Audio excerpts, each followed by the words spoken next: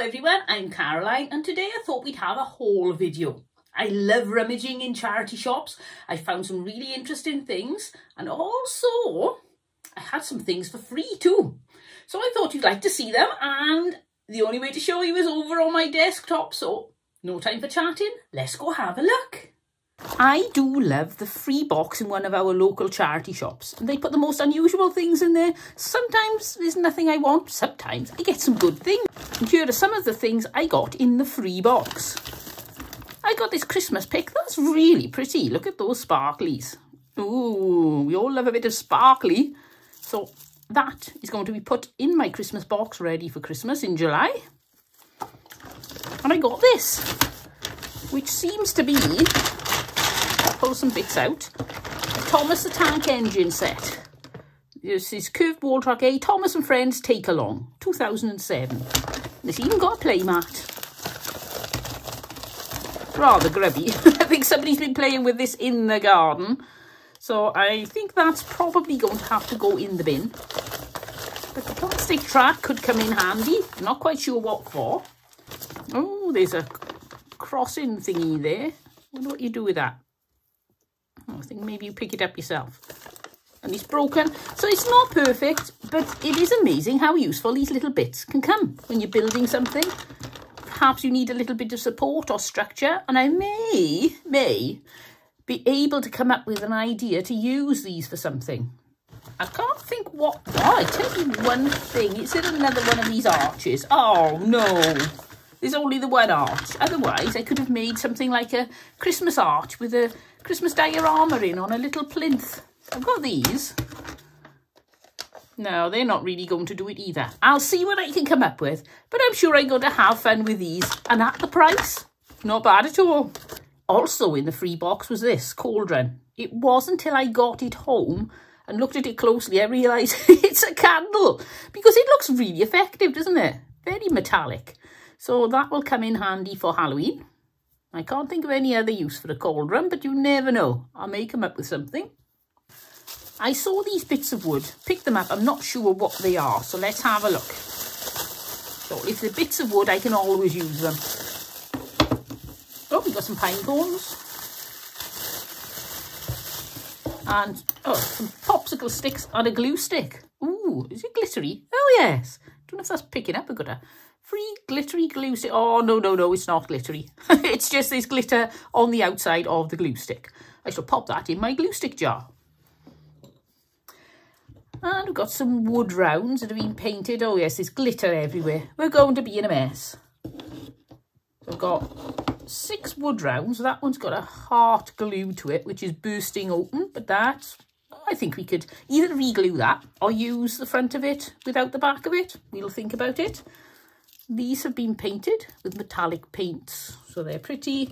And oh, there's one little bead with some glue on, some little bits of metallic thread, and two golden popsicle sticks.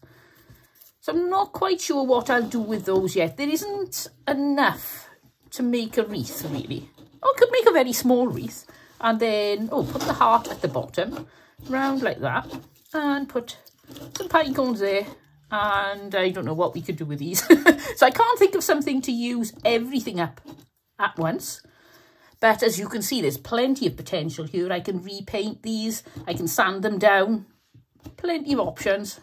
So for nothing, I wasn't going to leave those there. That's better.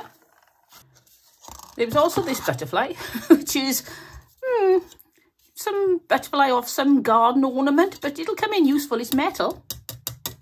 So I'm sure I'll be able to do something with that. I may repaint it because it's a bit tatty.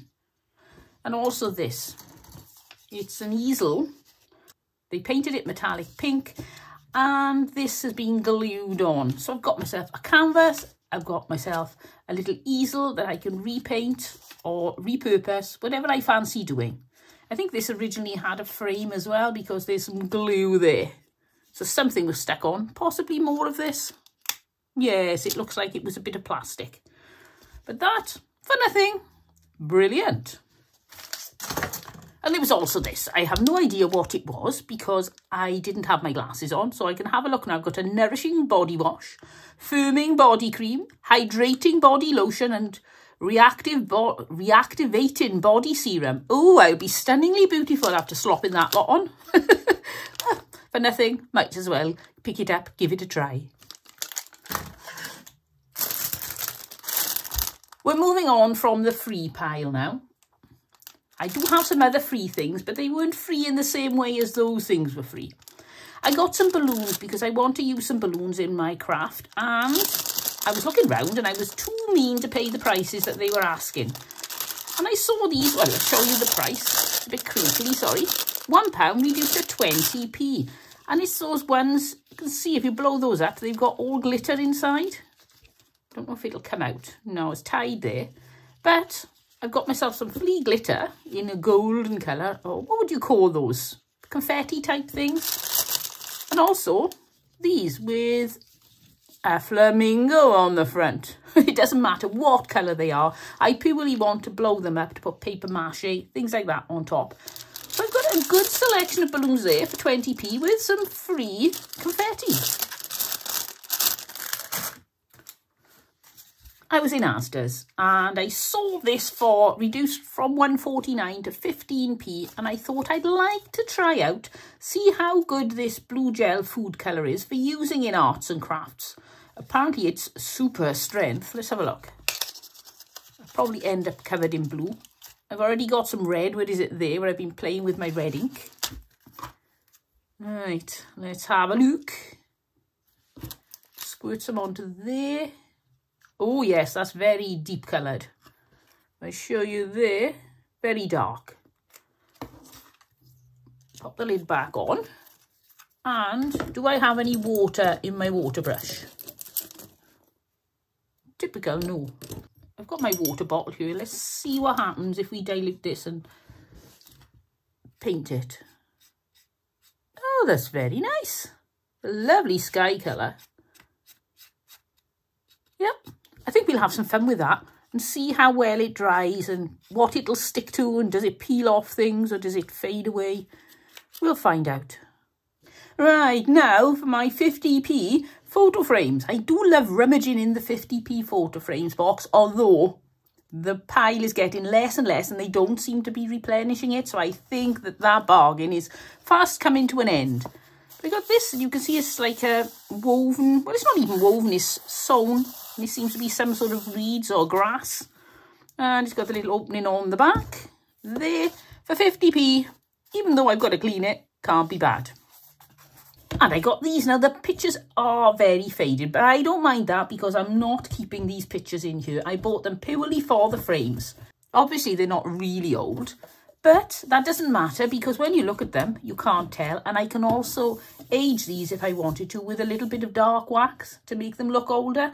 But I'll be putting new pictures in there. Not quite sure what yet, but a pair of them like this. A pound for the pair. Can't go wrong. I got this for 50p. A block of wood for 50p seems a bit expensive. If I turn it over, it's got a honeycomb section of numbers now, what I'm thinking, I don't know if it's going to work. It could be a disaster. But I'm wondering whether I can put some glue onto a picture of a bee or something like that. And then put these on top of the picture. And then cut around them with my scalpel and make a bee jigsaw puzzle. So that's the plan. And it sounds wonderful on paper. Whether it'll really work, I don't know. I may end up munching up the paper or they don't go together well. But we'll find out, and I think that is going to be a bit of fun. And for 50p, you can have quite a lot of fun. Very good value for money. I was in the charity shop and saw these. Now, these are little. I do also have two two metre pieces and one one metre piece. And they are, if I turn this over, Richard Burbidge, which is a very expensive brand for all forms of wood mouldings. Now, I can't find these painted ones on there. And if I show you, I think they were probably painted at home. I could be wrong, but I don't think they came like that. And for the other five metres, plus all these little bits, I paid the grand sum of £2. so you can't go wrong at £2. I'm saying that a lot in this video. You can't go wrong. But I think at £2, that's excellent. So what, one of the things I was thinking, I take some of these bits out. This was obviously a dado rail or something and it's been removed. And I could, I've got some preformed corners, so I don't know whether I carry on with that theme because they're very small. But I may make a shadow box. And I can make shelves for child's toys, anything like that. I can join them together as planks and make an interesting picture, I suppose. I don't know how that would work. Hmm, we could think about it. I could make a picture frame, cut these at 45 degrees, and then I've got myself a picture frame. Obviously not like that. So lots of uses for these. I'm really not sure what to use them for just yet. I haven't actually been thinking of things along a child's theme, but maybe for Christmas time, I will be looking for ideas for children's toys that you can make yourself. And in that case, these will be perfect. Cotton velvet. Vintage cotton velvet. Very expensive. This is actually a cotton velvet curtain it's got his lining, which is a little bit grubby, but I could pop that in the wash. But how much do you think it would cost for this much velvet? These are 60 inches wide, 72 inches long. Can you imagine how much that would cost for that size of vintage cotton velvet? Plus a little bit of extra that I can use for whatever. I can use it for making shabby chic bows, things like that. The interiors of bags, bases for putting things on. I paid, wait for it, one pound. That's not a very good one. There's a better one. one pound. So that I'm going to have a lot of fun with. I, the one thing I really like with cotton velvet, funnily enough, is pumpkins. They make such gorgeous pumpkins. They look so sumptuous because the sheen and the colour change on this velvet. Look at that. You can see there. Look at all the different colours. You go to virtually white there. Where's it to? There to virtually black. It's very difficult. I'm looking at my screen. There. That's virtually black and every shade of pink in between. It's amazing, isn't it? So that I'm very pleased with. I do love finding a good curtain. Back to some freebies now. I was in Hobbycraft and they had a box marked free packaging. So I took bubble wrap, lots of bubble wrap that was there. And I got this. Now this um, I don't know if you can see on the end there. I haven't got the space to show you. This is from a bolt of fabric.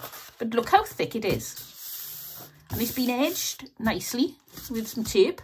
I am going to use this. No, I can't show you. It's too long. I'm going to use this for a very long image of something.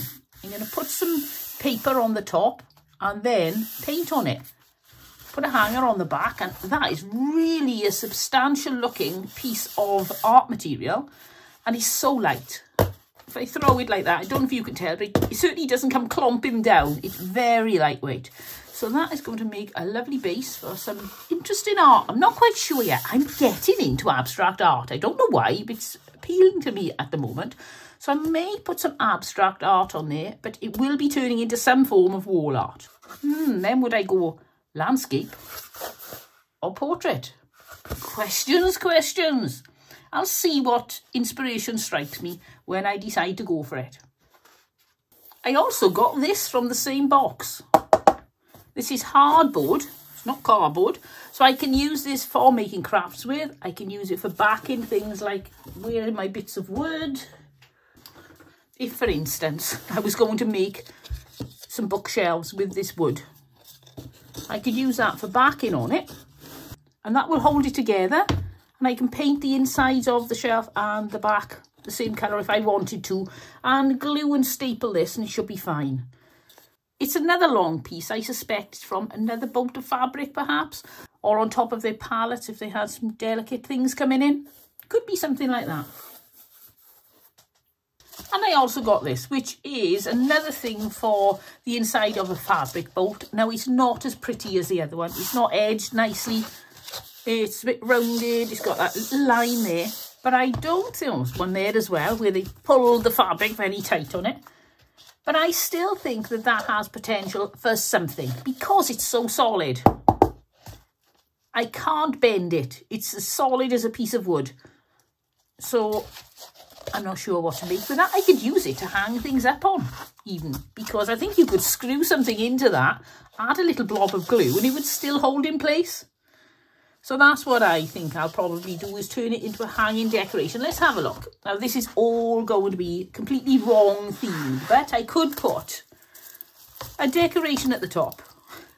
And then I could put a name plaque I know, I know, it isn't a name plaque. And I could write the word keys on there.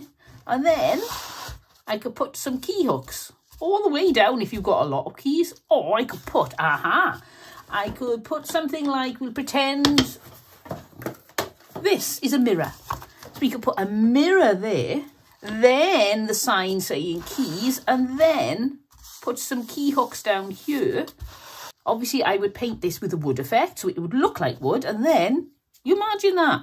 Some sort of either picture or floral display, something relevant at the top. Even if you could get one of those stag's heads, they're fun. If you've seen those, you could put one, the little polystyrene ones that are covered in whatever. You could put one there.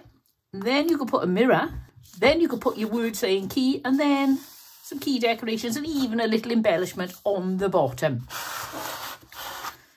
I think that would look quite nice. I'm actually inspired to do that. I haven't got time today. It's really frustrating, but I think that is going to be a bit of fun. So uh, that is probably what I'm going to do with that piece of cardboard. And we'll see if we can make it look high-end from a tatty old free bit of cardboard from Hobbycraft. Oh, I do love a bargain and I can't wait to get started making craft items with those things that I got. Cheap or for nothing. My favourite price. If you've enjoyed this video, then please give me a thumbs up. And it would be great if you could subscribe, and that way you'll get to see all the things I make with my thrift store finds. I'll see you all next time, but until then, don't forget, happy crafting and have fun!